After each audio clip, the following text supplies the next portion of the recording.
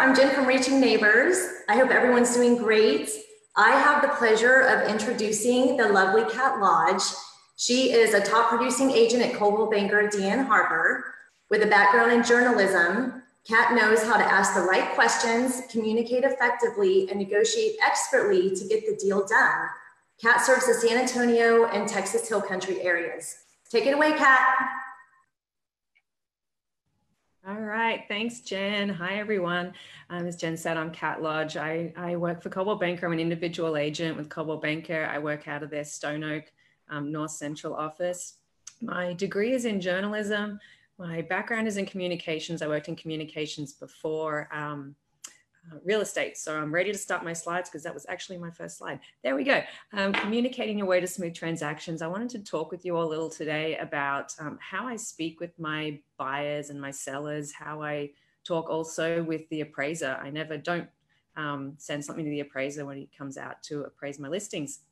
Also, I wanted to talk a little about negotiating with kindness and how to um, get your deals to a smooth closing. That's everyone's goal, you know, in the end. So I wanted to um, first imagine a, a land where there is no buyer agents. It sounds like a magical land because could you even imagine what our transactions would be like with no buyer agents? But that land exists. That land is Australia, where I'm from. They have absolutely no buyer agents. It's all just listing agents. They also have really gigantic yard signs, um, which I don't think is going to take off here in San Antonio. But as an aside, um, because we have buyer agents on the other side, we have a new coworker multiple times a month 30 days at a time and you know that's difficult. So um, it's important to have good communication with the person on the other side of the transaction. I'm going to talk, first a little about how i communicate with other agents. Um, i have found that agents who are kind first and foremost and have great communication skills they always lead to a smooth transaction in the end.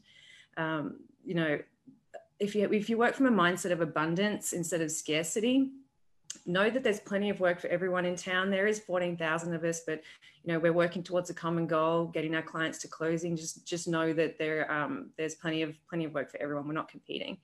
Um, also, I, I, I do try and be kind to everyone in the transaction, but kindness is not a weakness. I like this quote: "We must not mistake kindness for weakness. Kindness isn't weak. Kindness is a certain type of strength." So I, I never lose my cool when I'm talking with other agents. I, I, have, I a different strategy, which is I go quiet, I'd listen, and then I call them back and say, I'm gonna, I'm gonna have to call you back in a couple of minutes. But pick up the phone, have conversations with people. That really does um, save the deal. You know, our, our, most crucial time for when we're talking with um, the agent on the other side is during our repair negotiations. I remember when I started out as a, a, a new agent, I sent uh, an experienced agent a giant list of repair requests. And one minute later, my phone was ringing. She said, Okay, Cat, we're going to go through this item by item. I want to speak with you first about what your client's deal breaker items are because I want your buyer to be happy. And um, that's kind of how I how I, I, communicate with the other listing agent too. This um, this slide makes me laugh because sometimes there literally is no saving the deal. We've all felt it, um, but you know this is like a live shot of an agent realizing they're not going to save the deal. So sometimes, yeah, the deal does implode, but if you, you know, hold your head up high, treat everyone with respect and kindness, just know you're probably going to run into that agent on the other side again on another transaction. They might have the listing that your client wants, and it's a multiple offer situation. So I always just never burn bridges. It's my advice.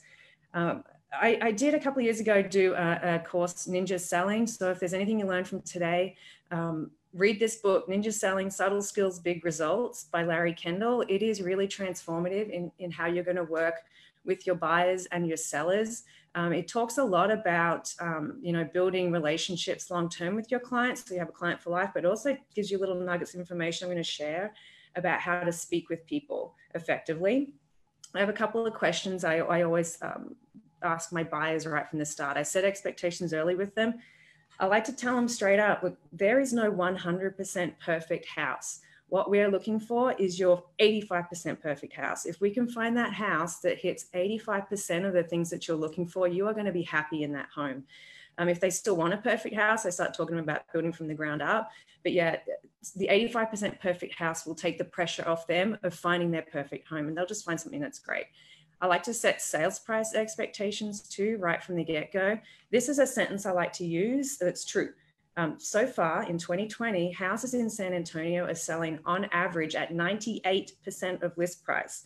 Um, sometimes they won't believe you when you say that, but if you can go into MLS, you run a market statistics report, you're going to be able to show them that that's actually true. And that is true 98% of list price. So there, there aren't too many bargains to be had, and you may find yourself in a multiple offer situation.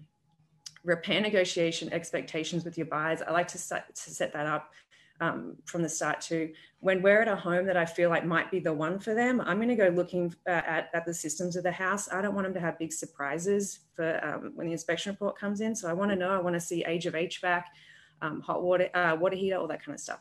Um, I also like to tell them it is, is entirely unrealistic to ask a seller to replace a working system just because it's old. So if everyone had that conversation with their clients, we'd save so many deals, I feel like. Now, shifting to talking to your sellers, I have two questions that I got from um, Ninja Selling that really helped me um, talk with my, my seller clients. I like to ask them, tell me about your last real estate transaction. What did you like uh, about it? And what would you change? I also ask them, and it sounds hokey, but it works. If you could wave a magic wand and have this sale go just the way you want it, what would that look like to you? You're going to find out a lot about your clients just from those two questions. I always call my sellers with important news. I, I really don't text them and email them with important stuff because you lose so much of the context and the, and the tone in a text and an email that you don't hear over the phone with them. I like to prep them also from day one for our repair negotiations, what that's going to look like. And I let them know, look, even if your home feels perfect, and the inspector's going to find something. We may end up with a list of long repair requests, but I let them know I, I will probably know what those deal breaker items will be for that buyer because I'll have talked to the to the um, buyer agent already. Communicating with the appraiser is so vital, and I feel like there's probably a lot of agents that don't even touch it. But I never leave the appraisal to chance. The chance I always have my appraisal packet ready. I like to send them an email to the appraiser with my comps, and I say, "Here are my comps. I hope um, I used to help me price this home. I really appreciate your work on this one." And sometimes I'll say, "I understand you guys are really busy. Um, here's here, here are the comps I ran. Um, I, I, specifically show them that I know how to run comps and make GLA adjustments. That's gross living area adjustments at bare minimum. If you don't know what that is and you're a newer agent, take a um, PSA pricing strategy advisor course online. I always, when it's multiple offers and over asking, this is my biggest piece of advice for everyone that really works. I attach the first page of each offer that I received to prove to the appraiser that I actually, yeah, I actually had eight offers on this house and I've never, touch wood, had a, a, a home that was um, over asking with multiple offers ever come in low. So touch wood. But I think that one really, really helps. And hopefully, if you take anything from today, it would be to attach the front page of each offer to your um, email to the appraiser. So thanks, uh, Platinum Top 50 and everyone for listening to me right along for seven and a half minutes.